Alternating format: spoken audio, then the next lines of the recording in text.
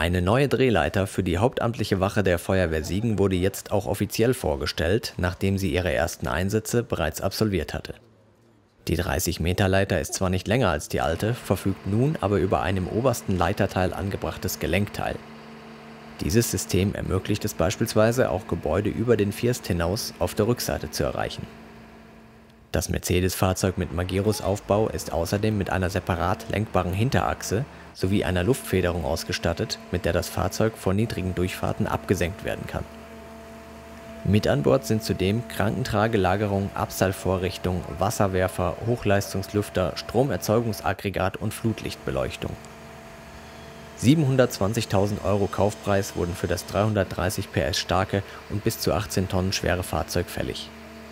Die alte Drehleiter der hauptamtlichen Wache geht nun nach Geisweid, die alte Geisweider wiederum nach Eiserfeld und die alte Eiserfelder Drehleiter, die die älteste von allen war, wird abgeschafft. Ihr Betrieb wurde unwirtschaftlich und die Ausfallzeiten waren zu hoch. Natürlich soll die neue Drehleiter in erster Linie Menschenleben retten, aber auch für die Rettung von Katzen aus Bäumen sei man jetzt bestens gerüstet, wie Feuerwehrchef Matthias Eberts in einer kleinen Ansprache scherzhaft hinzufügte.